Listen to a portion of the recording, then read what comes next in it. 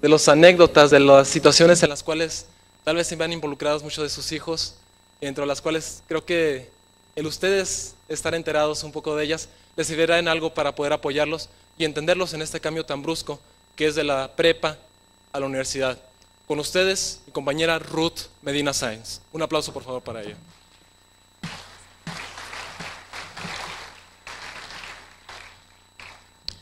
Nuevamente, buenas, buenas noches. Yo quiero platicarles lo que ha sido mi estancia en la universidad. Muchas de las cosas que les voy a platicar quizás sean situaciones en las que alguna vez sus hijos se puedan encontrar. Quiero platicarles todo esto para que ustedes estén conscientes de que tal vez al encontrarse ellos en alguna de estas situaciones, ustedes puedan brindarle el apoyo y, ¿por qué no?, mejorar la comunicación con ellos. Me acuerdo cuando yo estaba en esta sala hace tres años, estaba sentada allá arriba, estaba en curso de inducción, a unos días de entrar a la universidad. ¿Cómo voy a poder olvidar el primer día de clases? Me levanté tan temprano porque quería llegar muy temprano a la escuela para, para ver cuáles eran mis salones, para identificar a algunos compañeros que iban a estar conmigo, a quienes conocía, a quienes no. Estaba tan emocionada esa vez que me levanté demasiado temprano. Para mí era de madrugada porque tenía que estar, mi primera clase era a las 8 de la mañana. Recuerdo que la mayoría de la prepa estuve todo el tiempo en la tarde. Por lo general yo me levantaba a las 9, 10 de la mañana. Entonces el hecho de levantarme temprano era el primer gran esfuerzo que tuve que hacer para entrar a la universidad. Me acuerdo que llegué a la escuela, lo primero, y mi primer error. Olvidé mi horario. No sabía qué clase tenía, no sabía en qué salón. Tuve que llamar por teléfono para que me lo trajeran. Era tanta la emoción que algo tenía que olvidar.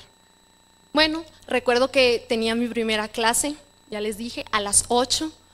Y por ese pequeño error de que no tenía mi horario, llegué tarde a clase. Uy.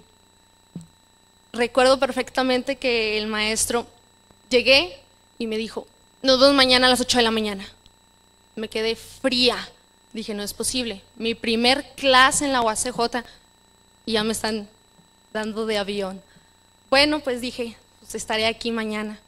Era, recuerdo que era un maestro muy serio, se veía muy formal y pues hasta cierto punto me dio miedo porque dije, válgame, todos los profes van a ser así.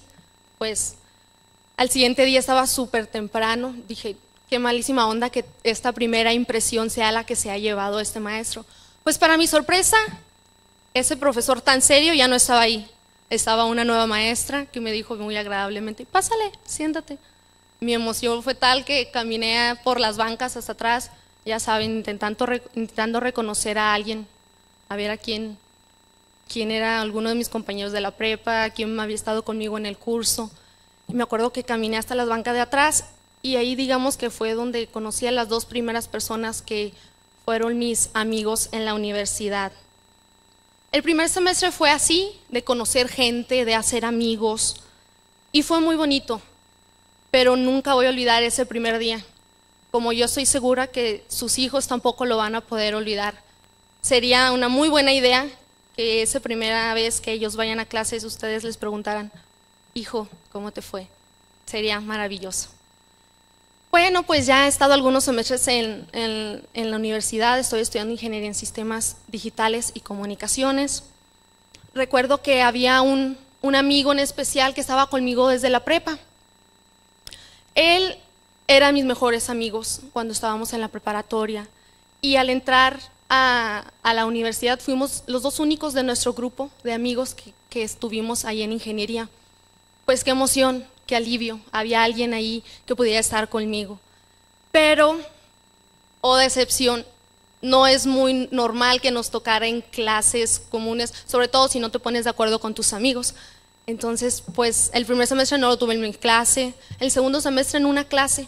Recuerdo que él era una de las personas que le decíamos en la prepa el insensible, porque recuerdo que todo el mundo teníamos problemas con nuestros amigos, con nuestros novios, con nuestros padres, y él tenía una vida completamente feliz. Oh, cómo lo envidiábamos porque para él su padre era lo máximo.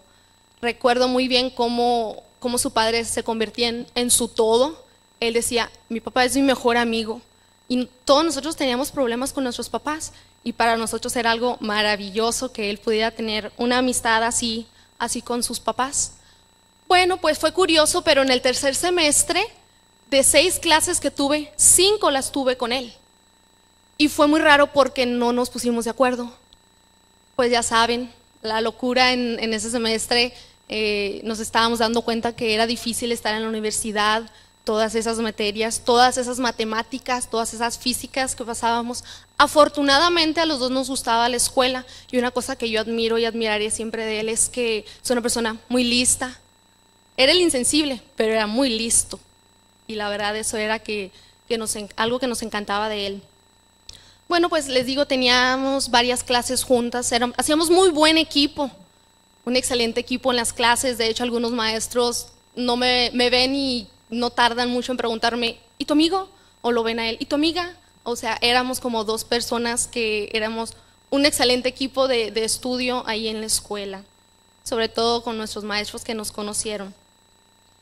Pero fue curioso porque recuerdo que, como ya les dije, él tenía, digamos, su vida perfecta. Y hubo ocasiones en que yo lo veía triste y preocupado. Y eso no era normal en él. Y claro que yo estaba muy consciente de eso y le pregunté, ¿qué tienes? Eh, digamos que ya tantas clases juntos, pues ya empezábamos a hablar más de los problemas con nuestros hermanos, con nuestra familia, con nuestros amigos, que la escuela, que el problema de matemáticas, que el de física, y empezábamos a tener una comunicación muy bonita, porque convivíamos mucho tiempo, por lo general con las personas que convivimos mucho tiempo son con las personas que conocen más de nosotros. Entonces yo lo andaba triste y preocupado. Me platicó que la relación con su papá se había deteriorado. Eh, su papá se había metido en muchos problemas, en algunos tipos de vicios, y él estaba muy triste porque su papá, que era todo su ejemplo, prácticamente su papá era su Dios. Él me decía que él usaba la escuela, pero que si él se sacaba dieces era porque a su mamá le encantaba que en su boleta viera dieces y entonces su papá le decía, tienes que sacarte un 10 por ella. Y él hacía lo que su, su papá decía. Era raro, ¿no? Por lo general todo el mundo pues está más apegado a la mamá, pero no, le digo que él era, él era una maravilla porque su papá era lo máximo. Pero empezó a tener problemas con él. Afortunadamente éramos varios compañeros, varios amigos en un grupo y lo empezamos a apoyar. También un, primo de él se integró a nuestro grupo y pues intentamos, intentamos ser una fuente de, de ayuda para él, porque sabíamos, en especial yo, lo importante que era su papá para él y lo que estaba significando en ese momento, o sea, cómo se sentía. Por eso intentábamos distraerlo, platicar con él, porque era una situación muy fuerte la que se estaba viviendo en su casa, se hablaba de la separación, se hablaba del divorcio, para él era lo, terrible. Lo que él quiere decir con esto es que él encontró el apoyo en nosotros. Y algo curioso, digamos que él nunca había podido tener una novia estable que durara más de una semana. Algo que le ayudó mucho a él fue que se consiguió una novia justo en esos días. Yo lo alenté para que lo hiciera porque era algo que le iba a ayudar, era algo que, que le ayudó a superar eso, eso en, en su casa. Y son algunas de las cosas que probablemente algunos de sus hijos puedan pasar, pero quiero que sepan que en la universidad se, no solamente es una formación profesional, sino también se da una formación personal y es ahí donde, donde nacen los amigos que nos van a acompañar siempre. Recuerdo que en cuarto semestre, probablemente esto sea algo muy general. Ya estoy entrando a las a las materias más, más enfocadas a la carrera. Y entonces es donde uno se encuentra con, digamos, maestros, con alumnos que, que yo llegué a un punto de decir, ¿qué estoy haciendo en esta carrera? ¿Qué estoy haciendo aquí? Sabía que tenía que estudiar cocina. Bueno, pues yo también les quiero decir esto, es probable que sus hijos se encuentren algunas veces en estas situaciones y va a ser muy difícil pero son algunas de las cosas que nosotros tenemos que sacar adelante como estudiantes. Probablemente el viento vaya en nuestra contra y nosotros como estudiantes tengamos que luchar bastante para poder sacar adelante una carrera y para esto es muy importante el apoyo de, de todos los padres. También me di cuenta en este semestre que la universidad no era fácil. Prácticamente yo había terminado todas mis materias de ciencias básicas, pero esas materias por lo general son algunas asignaturas que ya vimos en la preparatoria. Entonces venían las de la carrera, esas, esas eran las difíciles y esas eran las que tenía que pasar. Recuerdo que no tenía idea de qué materias quería seguir tomando, no sabía cuáles quería agarrar, pero era por un, un pequeñísimo error que muchos alumnos tenemos. No nos acercamos a nuestros coordinadores. Entonces yo me encontraba, digamos, mal orientada porque no sabía cuáles materias, por qué área me quería seguir en la carrera. Y eso fue una de las cosas que me hizo decir, basta, tengo que analizarme y tengo que ver qué estoy haciendo. Los próximos dos semestres todo fue más normal. Siempre he platicado con mis amigos y siempre hay conflictos que tenemos con nuestros padres, que si mi mamá se enojó conmigo, que si se quiere ir de la casa, que esto. Eso es algo muy común que yo he visto con todos mis amigos. Estoy segura de que algunos de sus hijos algún día podrían tener este tipo de problemas. Pero yo quiero decirles que mucha gente piensa que cuando alguien tiene problemas académicos, que no puede sacar adelante buenas calificaciones en la escuela, es porque tienen problemas en su casa. Y yo quiero decirle que esto no es siempre así.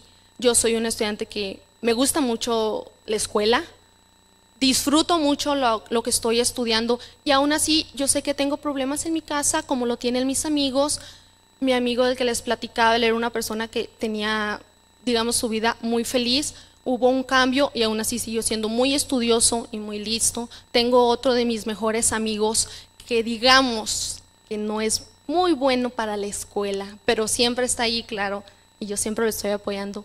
Y él también tiene problemas con sus papás.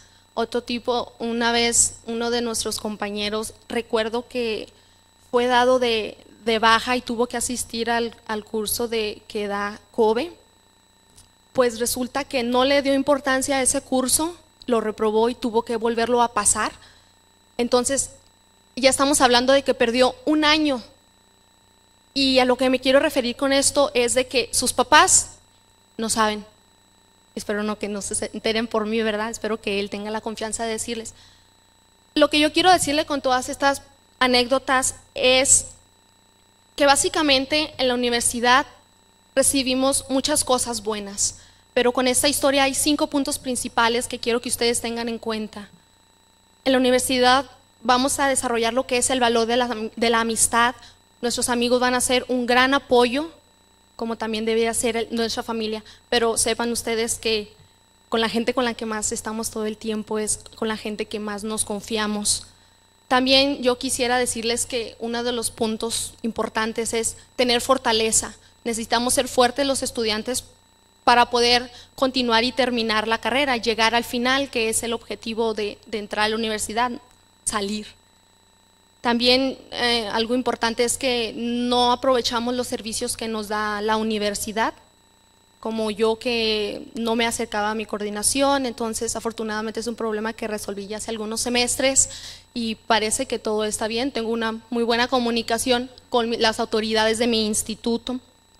Y también algo bien importante que nosotros los estudiantes debemos de disfrutar nuestra universidad, disfrutar cada instante. La universidad no es solo un centro de estudios, también es un centro de actividades diferentes a la, cuestión académica. Entonces, también es importante que los padres apoyen a, a, los estudiantes en esos aspectos.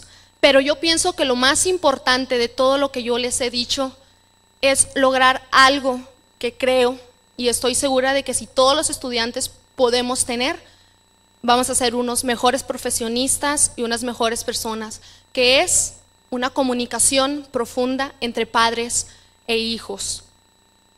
Realmente no importa cómo nos llevemos con nuestros padres, sino lo que importa es cómo de aquí en adelante tengamos el apoyo de nuestros padres y nosotros estamos dispuestos a aceptar sus consejos y sus sugerencias. Pero yo les puedo decir que con la comunicación profunda nosotros vamos a poder salir adelante como estudiantes. Tal vez existan muchas más cosas que nos puedan detener en nuestra carrera, pero estoy segura que con su apoyo vamos a poder salir adelante. Y algo así, por favor, no tengan miedo, que son sus hijos y ustedes los hicieron. Para la comunicación profunda, yo creo que Carlos nos va a poder ampliar mejor ese tema para quien pido un fuerte aplauso.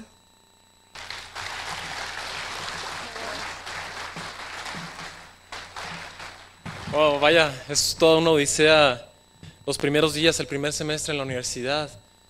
Ahora yo lo comparo un poco con la edad del por qué y con la, edad de la pregunta, ¿verdad? Siempre andamos a dónde voy, con quién voy, dónde están mis amigos, qué hago aquí solo, cómo voy a salir adelante. En fin, ahorita mencionaba mi compañera unos puntos que me trajeron en, en mente algunos pasajes que platico con yo con mi padre. Digo, padre, papá, ya, la verdad, llega un punto en el cual como que baja ese entusiasmo, como que bajan esas ganas de tantos trabajos, de tantas tareas, de, la responsabilidad tremenda que implica la universidad. Le digo, ya quisiera graduarme. Él me dice, y con mucha razón, no tengas prisa, disfruta tu universidad. Tal vez va a ser la última etapa que tengas de que de la última etapa como estudiante en la cual puedas convivir, puedas ir a bailar con tus compañeros, puedas disfrutar de ciertas actividades, hacer deporte, ir a otros lados, disfrutar, desarrollarte, aprender a ser mejor persona cada día, a desenvolverte con la gente. Disfrútalo. No hay prisa, hay más tiempo que vida, me dice. Y sin embargo, he tomado esos consejos de mi padre y, y ahorita me encuentro en noveno semestre, justo hoy lo inicio, al igual que ustedes estoy muy contento de iniciar esta, esta otra etapa en la cual quisiera compartirles un poco de lo que para mí y para mis compañeros significan ustedes como padres. Más que nada quisiera platicarles cómo inició todo esto. Había finalizado una sesión de consejo universitario. Podría decir que para mí había concluido una de mis tantas actividades en un miércoles por la mañana. De pronto la licenciada Marichelo Medina, que ya todos conocen por aquí, se acerca, se acerca hacia mí, saludando siempre con una agradable sonrisa, muy atenta, y empieza a platicarme de las diversas actividades que están realizando su coordinación, de los planes, de los objetivos que tienen. Y dentro de todos esos planes, dentro de toda esa, organización que tienen en la coordinación de orientación y bienestar estudiantil, que es una, una dependencia de nuestra universidad que es básica, básica en cuanto a la orientación, en cuanto a la, el apoyo que muchas veces, si no tenemos confianza con nuestros padres, esa es la antesala que podemos tomar. Y dentro de todos esos planes surge una agradable sorpresa, pues me encomienda esta tarea que requiere un gran compromiso, una dedicación tremenda y sobre todo una responsabilidad enorme. Platicar con ustedes, darle, darles algunos puntos de, de nuestra existencia en la universidad. Y el hecho de que me hayan considerado para platicar con ustedes, aunque sea tan solo unos breves instantes, es algo que me enorgullece enormemente. Pues quién sino ustedes para llenarnos de sugerencias y consejos que nos harán mejores personas día con día. Tal vez por ahí alguna vez pudimos haber escuchado, siempre estaremos en un constante aprendizaje. Y en esta ocasión, los jóvenes universitarios quisimos tomar la palabra para mostrarles un poco de lo mucho que es nuestro sentir como jóvenes y estudiantes y ver cómo la mayoría de las veces la escuela no es una tarea fácil. Sin embargo, es bastante entretenida y divertida y sobre todo, se los digo por experiencia propia, llena de satisfacciones. Cabe destacar que hoy, como siempre, la escuela es nuestra segunda casa. Una casa que es un templo del saber y que nos dará las armas para seguir nuestro camino en este tan competido ámbito profesional. Sin embargo, no quisiera llenarlos de palabras y supuestas sugerencias que por mi falta de experiencia podrían parecer absurdas. Pero tan solo les digo una cosa, la experiencia que les dará a ustedes como padres, la estancia de sus hijos en la universidad, cubrirá satisfactoriamente, creo yo, todas sus dudas de la vida de un estudiante universitario, siempre y cuando ustedes, ustedes señores, se los quiero decir en este momento, se involucren, le echen ganas y como dijo ciudadano rector de la Universidad Autónoma de Ciudad Juárez, ponerse la camiseta y echarle ganas. Quiero decirles a ustedes que ustedes ya son parte de la universidad y que tanto ustedes como sus hijos merecen de igual reconocimiento por el gran logro de haber sido admitidos en esta magna casa de estudios de nuestra, de nuestra localidad y que a la par deberán estar involucrados en todas aquellas actividades que vayan en pro del desarrollo de sus hijos. Pues existen casos en los que es común encontrar padres de familia que se encuentran desligados casi, casi en su totalidad de las actividades escolares de sus hijos Y podría tal vez responderme a alguien aquí en la audiencia o alguien allá en mi casa que, él, que en realidad él sí está enfocado, él sí está al pendiente de las necesidades de sus hijos, que ya le compró ropa para asistir a clases, que ya le abrió una cuenta en el banco para los diversos gastos de papelería que se requerirán a lo largo del semestre, camiones, rutas, copias, engargolados, etcétera, que tienen algo muy importante, un pan que llevarse a la boca. Y con esto no les estoy diciendo que esto no sea importante. Claro que lo es.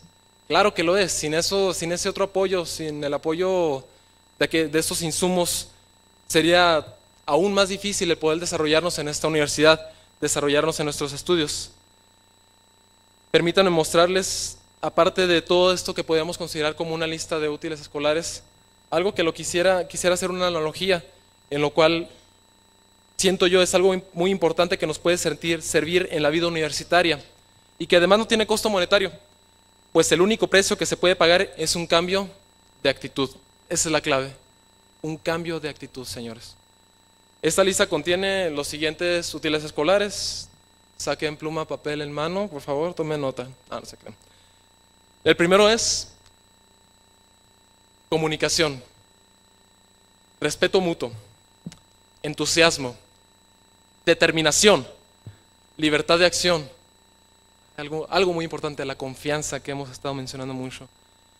La autoestima, la autoestima es lo que nos va a, es el, va a ser uno de los pilares importantes que nos va a ayudar a seguir en esta universidad y de sentirnos capaces de hacer las cosas. Higiene, puntualidad, sobre todo en las clases, díganselo a sus hijos. Fe, responsabilidad, honestidad. Y entre más altos estemos, más humildes deberemos de ser. La humildad es un factor muy importante que nosotros debemos de formarnos para formar nuestro carácter ético dentro de la actividad profesional. La sencillez, la decencia, el trabajo, ahorro y el compromiso que tengamos nosotros con nuestras actividades y con nuestra vida. A pesar de que esta lista pudiera parecer pequeña, pues contiene valores que en realidad hacen valer a la persona por lo que ella en realidad es y no por lo que tiene, que es muchas de las veces por lo que nos dejamos llevar como personas. La base de una sólida formación como personas reside en gran medida en los valores que se forjen en la niñez. He escuchado muchas teorías psicológicas que, bueno, me las explican de la mejor manera nuestros queridos maestros, entre los cuales se enfocan mucho, es repetido, lo he, escuchado una y otra vez, que en los primeros cinco años de vida es donde se forja todo. Y todo eso se forma en un lugar, el mejor lugar que pudiera existir, nuestro hogar. La familia es sin duda la parte esencial de ese entusiasmo que nos mueve a estudiar una carrera para mejorar nuestra calidad de vida. Pues como jóvenes tenemos una infinidad de sueños y objetivos firmes que de una forma u otra sabemos que la universidad es el medio por el cual nos acercaremos más a ellos. Pero es importante seguir siempre con nuestras metas bien claras y estar determinados a alcanzarlas, no claudicar. Permítanme decirles que es ahí donde ustedes, señores padres de familia, es donde van a entrar en acción, en no dejar caer a sus hijos, porque nuevamente lo, menciono, la universidad es algo que, wow, a pesar de que tiene satisfactores de todo tipo, es difícil, es un tanto difícil llevar a cabo esa, esta preparación a este nivel. Ustedes, no creo que esté de más decirlo, ustedes lo saben, el video que les acabamos de mostrar menciona mucho de ellos. Ustedes, señores padres de familias, mamás, papás que están aquí presentes, y todos aquellos que nos están escuchando desde allá arriba son una parte importantísima de nuestras vidas. Ustedes son quienes nos han traído hasta este punto y son en quienes nos formamos un ideal, diciendo siempre yo quiero ser algún día como mi padre y como mi madre.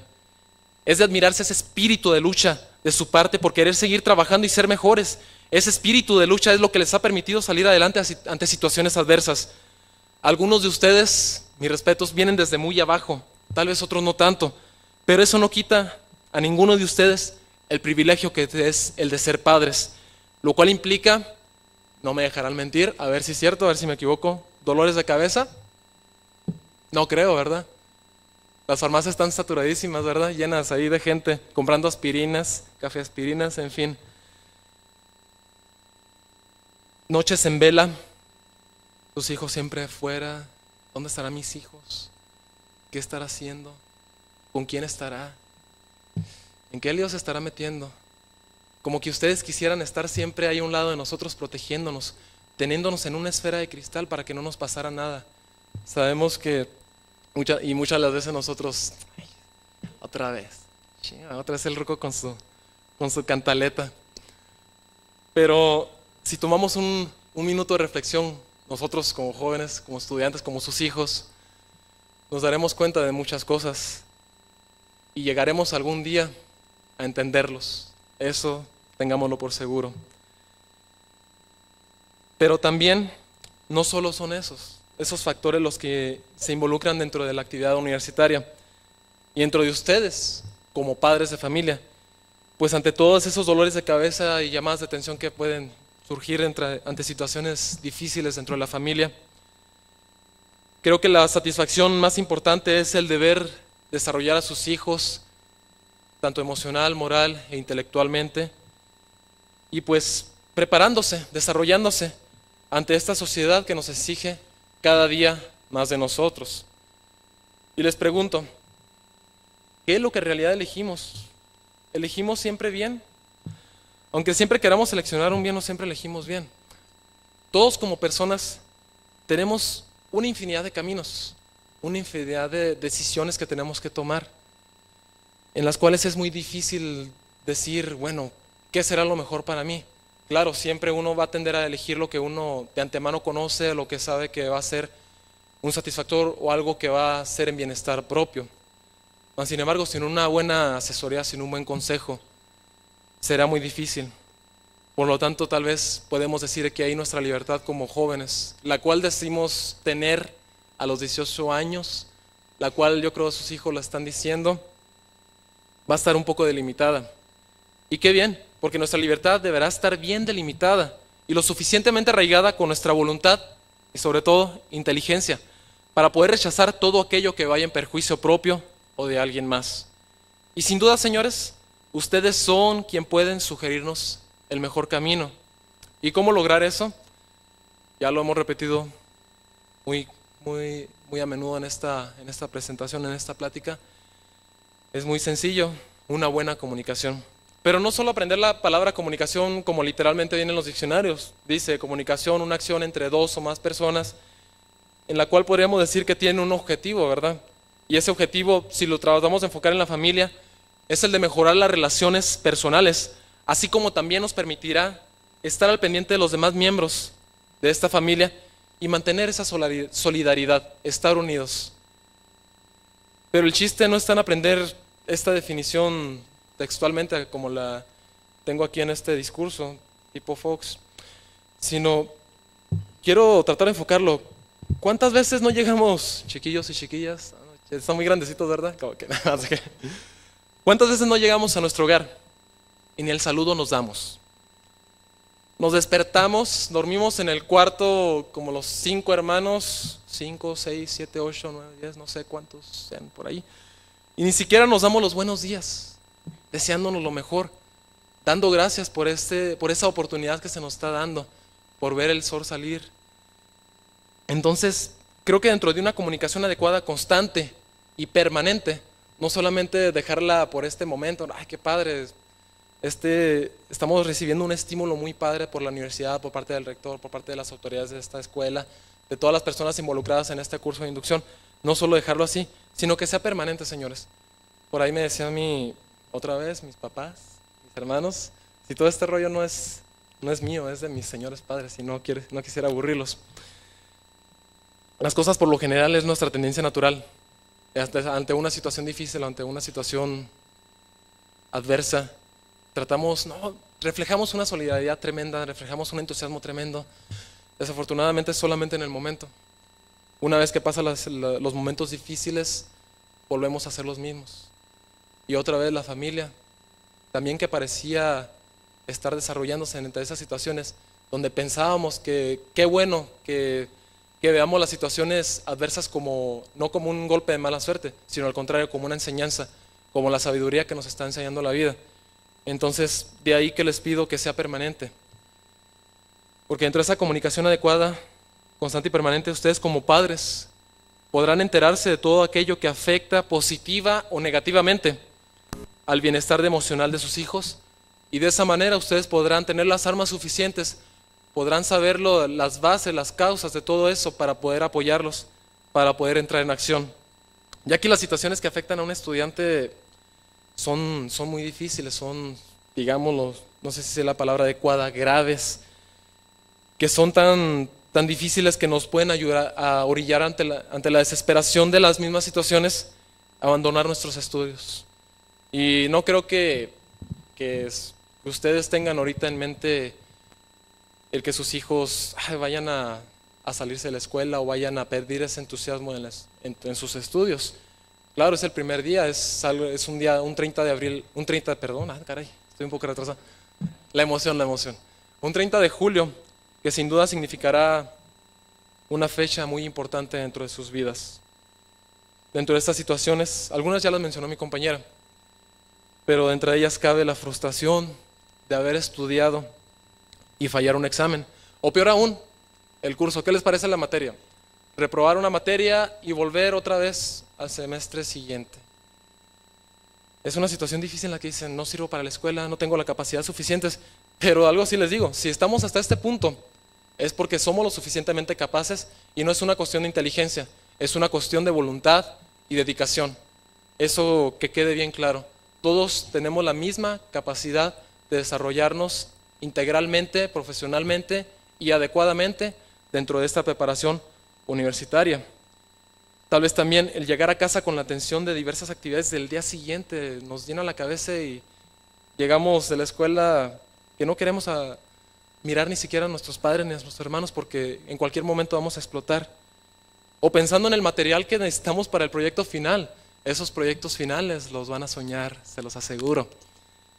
Que muchas veces requieren de inversiones de algo de dinero. Y nosotros como jóvenes no piensan que somos inconscientes. Que vemos a los padres, este es un inconsciente, no toma en cuenta los sacrificios, no toma en cuenta todo lo que realizamos nosotros. Al contrario, eso es algo que tal vez no lo manifestemos ante ustedes, pero sin embargo nos angustia terriblemente el ver cómo pudiese haber, llegar a haber problemas económicos en nuestro hogar. Y nosotros como estudiante, que es nuestra única ocupación, que no esté nada a nuestro alcance por el momento de hacer algo, de poder apoyar, de poder de una manera coadyuvar a que esa, esa situación pase, pase de la mejor manera posible y que nos encontremos nuevamente en calma. Pero ¿cómo podemos, nuevamente les digo, tomar ustedes, cómo pueden ustedes tomar cartas en el asunto sin ni siquiera saber la causa o motivos de la angustia? Y es aquí donde entra otro punto que considero muy importante, que es la confianza, la capacidad de poder abrir nuestros labios y expresar nuestro sentir sin temor a la crítica. Eso es muy común. Y hasta en el salón de clase lo manifestamos. No queremos preguntar, ¿Por qué? Porque qué dirán mis compañeros, que no sé, que soy muy burro, mejor me quedo callado. O la primera vez que uno se anima a preguntar en el salón de clases, la riega uno y como que ya no vuelve a hablar uno. Y es donde la confianza y la autoestima que tengamos inculcados servirá de mucho. Y, y qué mejor la confianza con nuestros padres para así poder manifestar nuestros sentimientos. Que los sentimientos creo es lo más difícil de manifestar dentro de una familia. Los enojos, como quiera, ¿verdad? Eso lo manifestamos natural y espontáneamente, pero los sentimientos es algo muy difícil. Sobre todo, con la mamá tal vez no tanto, tal vez con los papás, que ante esa imagen de dureza que tiene que manifestar a la familia para hacerla fuerte, no digo que no deba ser, debe de ser. El padre y lo consideramos como la maquinita que mantiene viva la fortaleza del hogar, pero esa fortaleza también debe ser tocada por los sentimientos debe ser tocada por ese amor que tienen a sus hijos y que den la oportunidad a sus hijos de manifestar todo aquello. Para los nuevos universitarios vendrán muchas etapas a lo largo de su carrera, cada una de las cuales presentarán diversas oportunidades, las cuales deberán ser aprovechadas adecuadamente para lograr una formación integral. También afrontarán muchos sacrificios, largas caminatas para alcanzar la ruta, aguantar el hambre porque se tuvieron que quedar en la escuela o irse a la casa de un compañero para realizar algún trabajo importante que se tiene que entregar al día siguiente, no poder ir con los amigos, pues se tiene una tarea inaplazable, desvelarse por estar estudiando para un examen. Parece difícil, tal vez para sus hijos ahorita me escucharan como universitario, como, como parte de esta casa de estudios, decir, uh, pues este qué ánimo nos está dando. No, al contrario, quiero hacerles ver que con ganas y con la suficiente madurez, todas estas situaciones que parecen ah, terribles, nos ayudará para que todo esto parezca más sencillo y así ir construyendo ladrillo por ladrillo nuestro porvenir. Y no soy de ingeniería civil, ¿eh? soy de ingeniería de manufacturas y por aquello los ladrillos. Ahora, nosotros como hijos tenemos una responsabilidad enorme, enorme. No, no, no, nomás venir aquí a platicar con ustedes, señores padres de familia, que todavía sigo emocionadísimo, honradísimo de esta oportunidad que se me brindó para, para estar aquí con ustedes. Sino nosotros como jóvenes, como estudiantes, sí o no, tenemos obligaciones que hemos adquirido de una u otra forma, digamos, obligaciones morales con nuestros padres, de apoyarlos, de echarle ganas, barrer la sala, lavar los trastes, detalles sencillos, ¿verdad? Pero como nosotros como jóvenes y para nuestros padres, creo que significarían mucho. De esa manera avanzaríamos en un trabajo en equipo y así podríamos salir adelante. Hago pues la invitación a mis compañeros estudiantes, a los estudiantes que por aquí se encuentren de nuevo ingreso y a ustedes padres que asumamos las responsabilidades obligaciones propias, con la capacidad de entender que nadie más que nosotros somos responsables de nuestros, de nuestros actos. Por último, quisiera tocar brevemente el lado afectivo de la relación entre padres e hijos, donde las muestras de afecto que se realizan le dan a uno una satisfacción muy bonita. Tal vez si no lo acostumbramos, como ya lo mencionaba, en verdad se los digo, no es demasiado tarde para tomar la iniciativa. Un abrazo, un saludo de mano o algo tan hermoso como es un beso. Son los alicientes que reconfortan y satisfacen la necesidad humana, no tan solo del estudiante ni ustedes padres, de ser queridos, sino de todos, todos nosotros como sociedad, como país, como planeta Tierra. Señores padres de familia, jóvenes de nuevo ingreso, es preciso tomar acción para mejorar la armonía en la familia y no dejar pasar el tiempo, porque este no perdona. No esperemos a que pasen situaciones irremediables y que sea demasiado tarde para valorar todo lo que tenemos. Ya lo dice el viejo y reconocido refrán. Ya valoramos las cosas o uno no sabe lo que tiene hasta que lo he perdido. Por lo tanto hay que agradecer a Dios, a la vida misma, a los cuales pienso Sería injusto reprocharles en algún momento de nuestra vida el que no se nos dio más tiempo para realizar las cosas que se, que se quedaron pendientes. Quisiera aprovechar este foro para manifestarle a mis padres, yo sé que ellos me están escuchando, están en su casa, no pudieron venir en esta ocasión. Me hubiera gustado tremendamente tenerlos aquí, porque no haber sido por ellos, créanme que este foro estaría ocupado por otras personas. Estoy muy agradecido a mis padres por su dureza, por su madurez que nos han transmitido, por ese apoyo, por ese amor. Mi señora madre, la señora Blancadelia Fierro, mi padre, Juan de la Cruz Campa, yo sé que les estoy transmitiendo esa energía positiva, decirles que los quiero mucho y que estas palabras no tan solo sean para mis padres, sino, señores padres de familia, ustedes son, son la piedra angular de nosotros los queremos bastante, son por quienes seguimos adelante. Y nuevamente quiero agradecerles a mis padres todo ese apoyo. Y, que, y sé que al igual sus hijos en este momento lo estarán haciendo.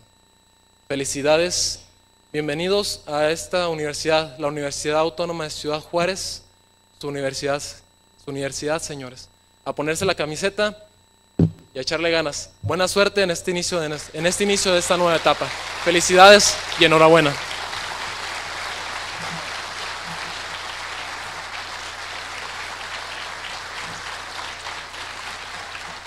Bueno, ya saben por qué los invité, ¿verdad? Ojalá que, que alguno de sus hijos esté en los próximos semestres aquí, en este foro. Señores, señoras, infinitamente agradecidos por, por la atención de, de que nos hayan aceptado esta primera invitación a la universidad. Las puertas quedan abiertas para cuando quieran regresar y recorrer eh, las instalaciones magníficas que tenemos. Enhorabuena a todos. Muchas felicidades.